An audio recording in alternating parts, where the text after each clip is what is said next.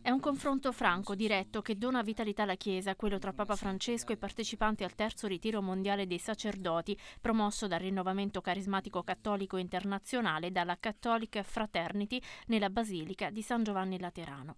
La Chiesa è donna, ribadisce in spagnolo il Papa, che dopo aver invitato i pastori a lasciarsi trasformare dall'amore di Dio, a non avere doppiezza di cuore, ad essere misericordiosi e non burocrati, a impartire il battesimo ai figli di una madre sola o di un padre risposato, tocca anche i temi spinosi nella Chiesa, come l'ecumenismo.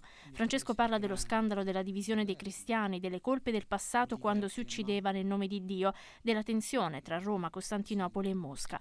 Esprime disponibilità per una data fissa per la Pasqua per festeggiare la festa cristiana contemporaneamente agli ortodossi. Rivela poi di aver invitato a Roma il patriarca Bartolomeo di Costantinopoli per presentare la sua enciclica ecologica. Il Papa annuncia anche il suo viaggio in Repubblica Centrafricana e Uganda a novembre, al vaglio una tappa in Kenya. Infine, definisce l'Asia come una delle promesse più grandi della Chiesa.